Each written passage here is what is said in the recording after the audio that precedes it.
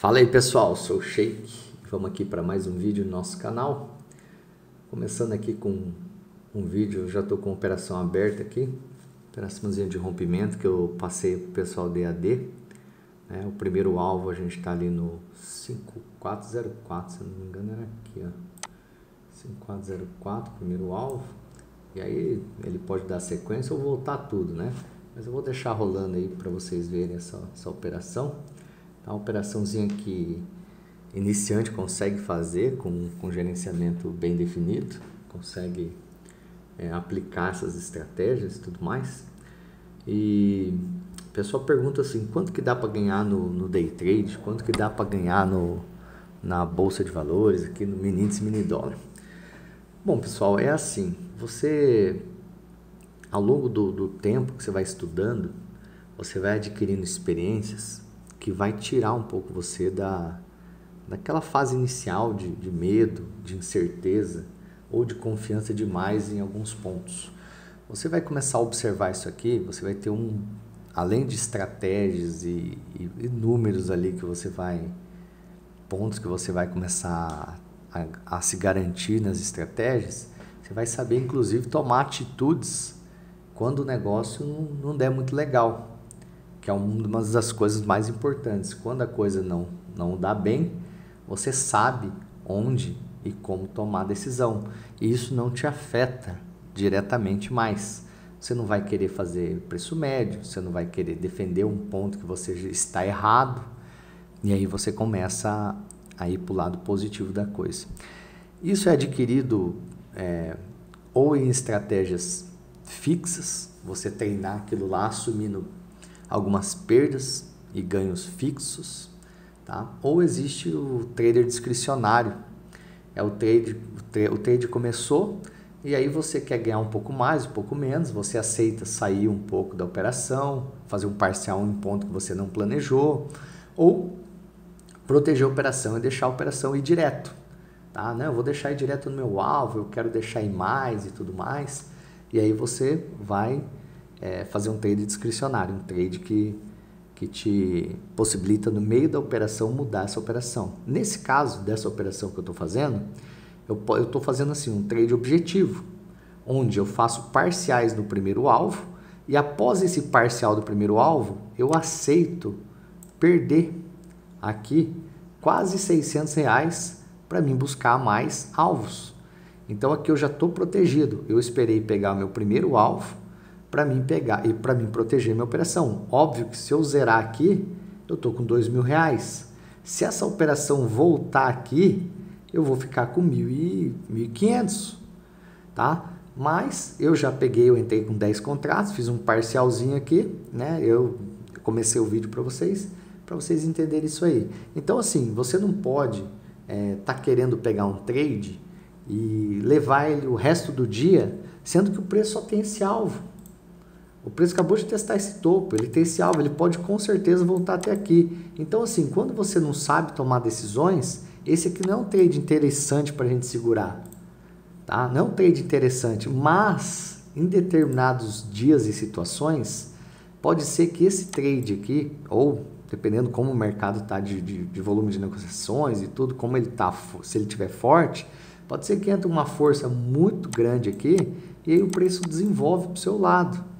Tá? Aí você sai e você fica um dia ou outro tomando decisões é, opostas às suas estratégias. Então, se você tem uma estratégia que você tem que sair aqui, você tem a opção de sair parcial, aceitando ficar quase com nada, tá? Ou aceitando um pouquinho mais de lucro, tá? Mas não é o normal, isso aí já vira o, o trade discricionário. Quando você tem uma estratégia objetiva, igual eu tenho uma estratégia que eu dei entrada aqui para o pessoal aqui, para sair no 5404, bateu aqui, acabou o trade. Tá? Bateu nesse ponto, acabou o trade, eu não preciso ficar segurando mais. Só que como eu tenho a possibilidade dele vir buscar mais alvos para cima, eu corro o risco de seguir uma tendência e se ele não me, me estopar, eu pego tudo ele aqui. Tá? Eu tenho essas opções. Tá? Então, ou você protege curto aqui. Mas se você vai proteger curto aqui, quando você está a proteção está dentro do corpo de outro candle, então por que, que você já não pega o dobro desse candle para cima e bota no bolso, já que você quer proteger curto? Ah, mas e se, se não tem se? E provavelmente ele vai te estopar se você protege muito curto. Por isso que você tem que entender a, as noções de proteção. Ou você aceita o alvo e depois você dá uma nova entrada em um ponto estratégico e ganha mais dinheiro, ou simplesmente você é, zera, é, protege e aceita ganhar menos. Tá? E isso não pode te afetar a tua cabeça. Por quê? Quando ele te estopar aqui, você viu o negócio chegar lá, aqui no momento, não sei se dá para ver, aqui no momento a gente está aqui levinho, tal, com 1.955 reais, tá? Se você aceitar ele te dar mais dinheiro, isso daqui pode chegar em 4 mil reais, não sei, ou até mais, se você for trabalhando ele em estratégias aí para cima. Se não, você vai ter que sair aqui onde ele é, está e você vai ficar com R$ 1.500. Você não pode estar pensando assim, eu estou com R$ mil reais, mas aí ele me, me tirou com R$ 1.500. E aí, sem estratégia nenhuma, sem fundamento nenhum, na sequência você se alavancar e entrar de qualquer jeito. Por isso que a gente fala nos vídeos para vocês a importância de ter estratégias, a importância de você seguir planos e entender essa. essa não é fácil, é, a gente não pode falar como, como facilidade. Esse é, é o mercado. O mercado funciona desse jeito. Se você, se ele começar, você pegar o lado certo dele, começar a andar, trabalhar, é, aceitar o risco, você vai ganhar muito dinheiro. Se você não aceita o risco, vai fazendo de qualquer jeito, possivelmente você tem a chance de perder dinheiro, tá? Ou deixar muito dinheiro na mesa, que é o que, que é o que o pessoal faz na maioria das vezes.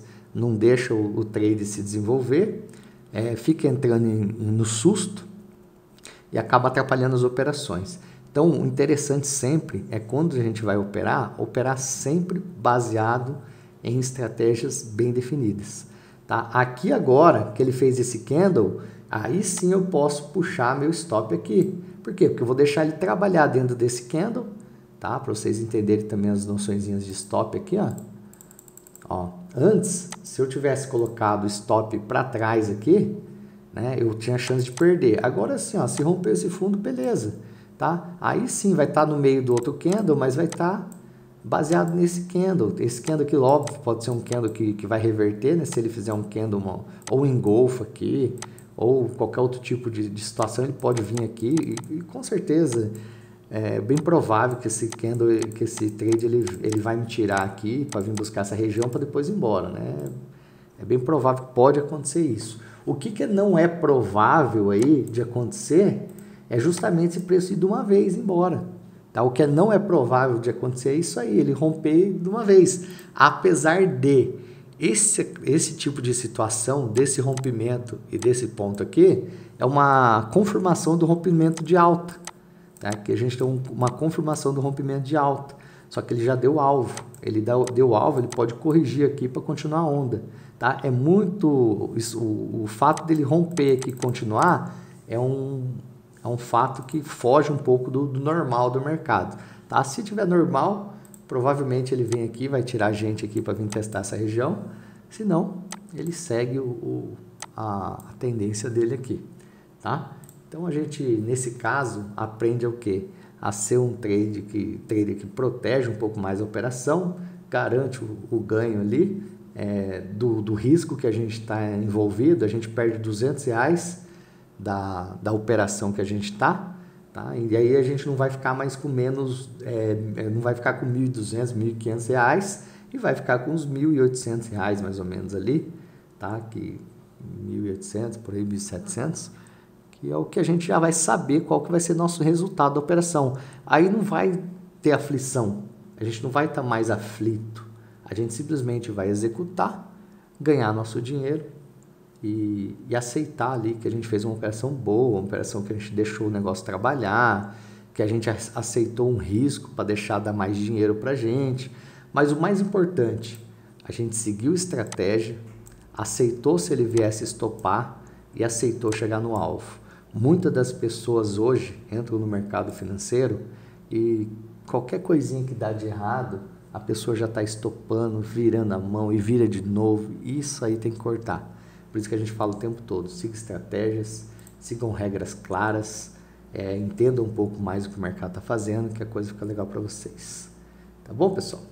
Então, pega o material gratuito aí na descrição do vídeo, entra aí no grupo Telegram, assistam os vídeos só, só para inscritos que, que vão conseguir assistir os vídeos principais, vídeos que vão ajudar você a entender um pouco mais o mercado, se entender no mercado, tá? Essa noção aí que a gente está passando para vocês, às vezes vocês estão fazendo e aí fala, ah, mas eu quero estratégia. Mas então, tem, existem várias, tá? Então você tem que aprender qual estratégia você vai gostar mais, qual você vai se adaptar, tá? Infelizmente você tem que correr atrás disso aí para treinar, para aprender, né? E aprender a olhar o mercado de uma forma um pouquinho diferente. O mercado não é tão aleatório quanto a gente pensa, mas existe né, a, essa incerteza do mercado. Né? Se tivesse, todo mundo tivesse certeza, era muito fácil a gente simplesmente sair metendo a mão ali, ganhando um monte de dinheiro todo dia, muito mais do que a gente ganha.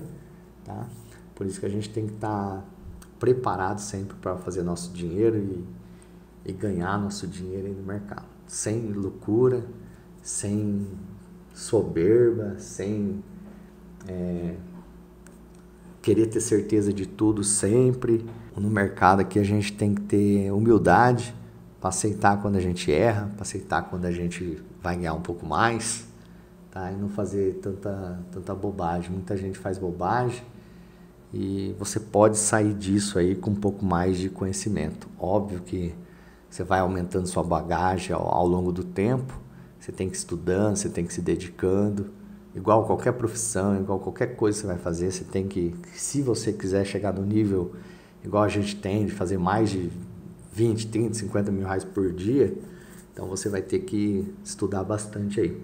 Qualquer dúvida, eu tenho uma playlist aqui com três anos gravados de consistência diária, ganhando dinheiro todos os dias em todo tipo de meta metas de 20 mil, metas de 10 mil, metas de 5 mil, 2,500 em cada conta, do mini índice mini dólar, né? No mini índice mini dólar, para vocês iniciantes entenderem que a consistência vem de conhecimento, estratégia, tomadas de decisões e estudo, tá bom? Tamo junto, um abraço, inscreva-se no canal e segue aí todos os dias aí com a gente. Fique na paz e até a próxima, pessoal. Valeu!